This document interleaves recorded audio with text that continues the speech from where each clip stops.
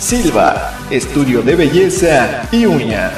23 años de experiencia ofreciéndole siempre el mejor servicio en cortes, peinados, tintes, mechas, extracción de color, tratamientos faciales y capilares, así como aplicación de uñas, French, natural y cristal. Además, manejamos paquetes para novia y 15 años. Visítanos en calle Aquiles Cerdán número 19, segundo barrio en Huejotzingo. Citas a los teléfonos 227-107-2300 y 27-619-07. Silva, estudio de belleza y uña. ¿Qué tal? Gracias por acompañarnos a una emisión más de este espacio informativo de Noticias al Día, en donde le damos a conocer información diversa y correspondiente en cuanto a algunos de los municipios que conforman el octavo distrito dentro de lo que es el estado de Puebla, así como de la región Tlaxcala-Texmelucan, que en este primer caso es como damos inicio con nuestra información y que tiene que ver precisamente con un tema de lo que eh, es esta temporada de sembrina. Y es que sabía usted que la flor de Nochebuena tiene un día de celebración bueno pues este 8 de diciembre fue el día nacional de la Nochebuena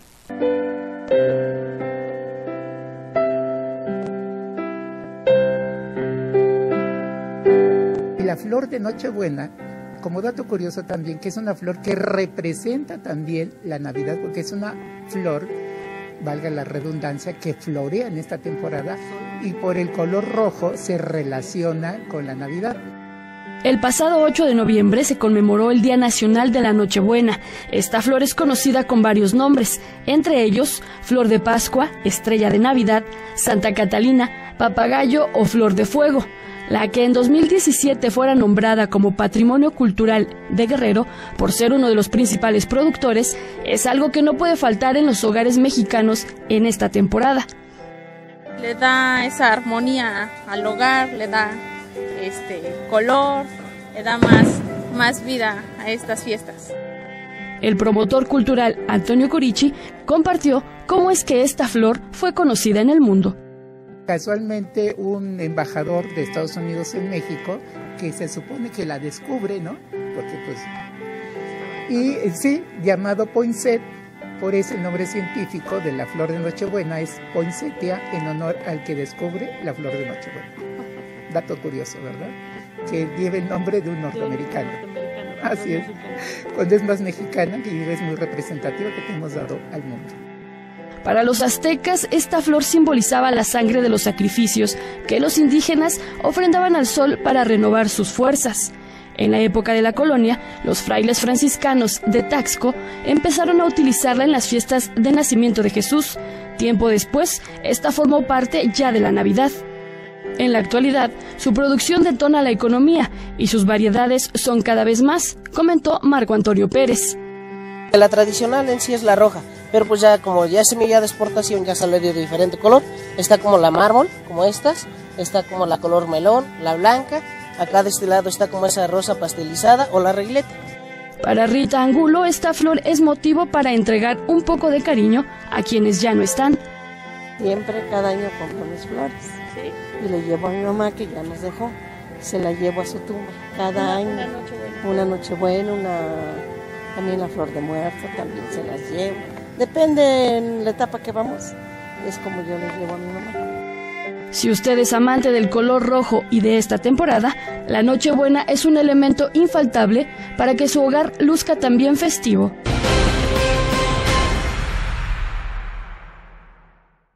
En una segunda nota, dentro de la región Tlaxcala-Texmelucan realizan primer concurso de dulces tradicionales en Tlaxcala. Tlaxcala se endulzó con creaciones artesanales y de rescate con el primer concurso de dulces tradicionales que organizó el Instituto Tlaxcalteca de la Cultura. Fueron 26 participantes provenientes de varios municipios que presentaron sus recetas, como el dulce de calabaza en pasta, burritos de maíz azul y rojo, burros borrachos, mermelada de tuna, muéganos y alegrías. El director del Instituto Tlaxcalteca de la Cultura, Juan Antonio González Necoechea, destacó que fue una actividad para el encuentro de la cocina tradicional, la cual da identidad a Tlaxcala a través de sus recetas dulces.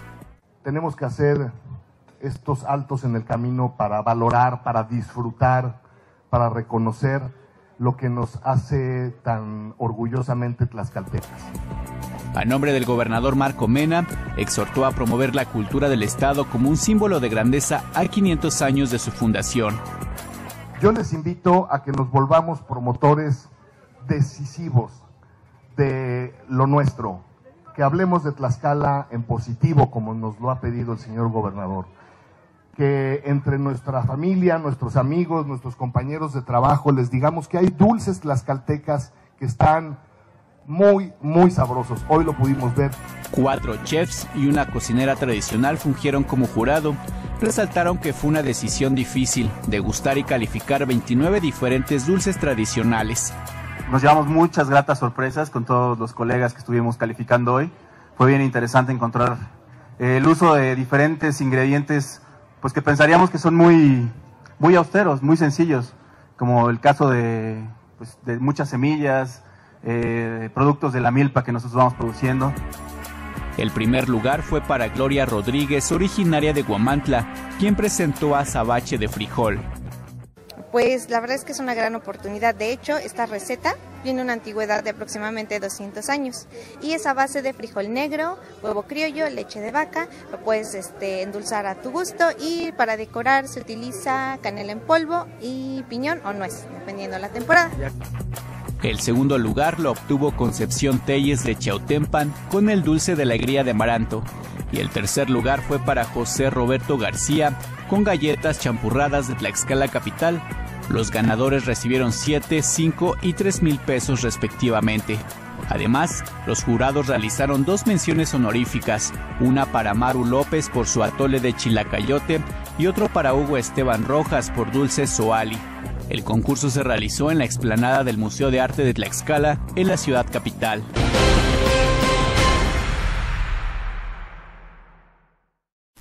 En lo correspondiente, algunos de los municipios de la zona sur informan a autoridades que permanencia de militares en Zacatelco será permanente al resaltar que la, presidencia del ejército, la presencia del ejército mexicano no es exclusiva de Zacatelco, ya que Alzayanca, Zompantepec y Clasco también mantienen destacamentos, el alcalde Tomás Orea Albarrán reconoció que en el municipio se cometen diferentes ilícitos que pueden ser abatidos al fortalecer la seguridad. Sin embargo, lamentó que la región del sur se ha visto severamente dañada debido al paso de huachicoleros, por lo que se requiere mano dura contra ellos y por ello es que la presencia de los militares se mantendrá de manera permanente en la localidad con el fin de abatir el incremento de la inseguridad. Dentro de otro de los municipios asegura Edil que Huachicoleo en Nativitas ha disminuido. El presidente municipal de Nativitas, Oscar Murias Juárez, aseguró que luego del cierre del ducto de diésel que se ubicaba en la comunidad de San Miguel Analco, Aunado a las tareas de seguridad emprendidas, la comisión de este delito ha disminuido hasta en un 90%, pues detalló que de manera conjunta con el gobierno del Estado y autoridades federales continúan con los operativos de manera permanente para combatir la extracción ilegal de combustible, lo cual ha abonado a que la incidencia delictiva haya disminuido de manera considerable en la zona. Incluso Destacó que en la localidad de Santiago Michac existe un destacamento permanente de la Secretaría de la Defensa Nacional, la Sedena, para reforzar estas acciones, lo que ha dado como resultado una mayor tranquilidad en la demarcación.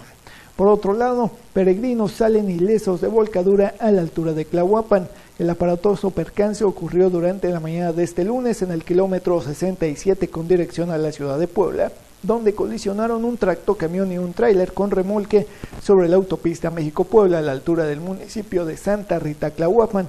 Según reportes de la Policía Federal, se debió a un choque por alcance entre ambas unidades, originando que el tráiler se saliera de la vialidad y volcara, mientras que el Torton con placa CW12285 de Chiapas, en el que viajaban peregrinos que regresaban de la Ciudad de México, volcó sobre la carpeta asfáltica por lo que los cuerpos de emergencia se trasladaron al punto para atender a los ocupantes. Sin embargo, se llevaron una gran sorpresa ya que salieron prácticamente ilesos, por lo que solo se procedió a banderar la zona, lo que provocó tránsito pesado mientras se realizaba el retiro de las unidades.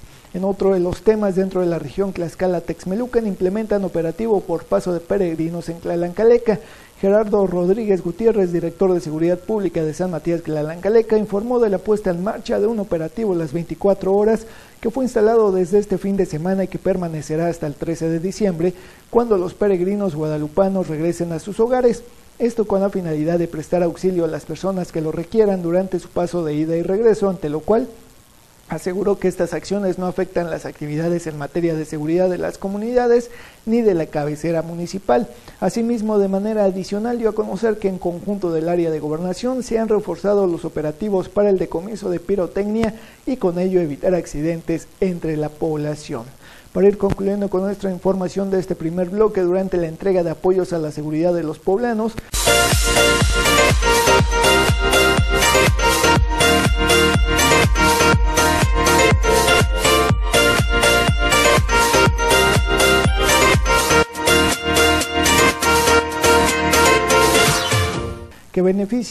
a los 217 municipios del estado. El gobernador Antonio Gali Fayad entregó una patrulla al municipio de San Martín Texmelucan para el refuerzo del cuerpo policiaco. La patrulla recibida es una camioneta marca RAM 4x2 modelo 2019 y cuenta con equipamiento de estrobo, sirena electrónica con controlador de luces, torreta super LED con barra de tráfico, banca central con respaldo, equipo GPS y radio móvil, entre otros aditamentos misma que quedará bajo resguardo de seguridad pública municipal con la finalidad de darle buen uso para cuidar el bienestar de las y los texmeluquenses, de acuerdo a Norma Layonarun, presidenta municipal. Pues bueno, ahí algunas de las imágenes de las patrullas que fueron entregadas a diversos municipios dentro de esta actividad realizada por parte del gobierno del estado y que bueno pues dará de alguna manera parte o abonará en cuanto a lo que es la seguridad de los texmeluquenses dentro de lo que es este caso, así como de algunos otros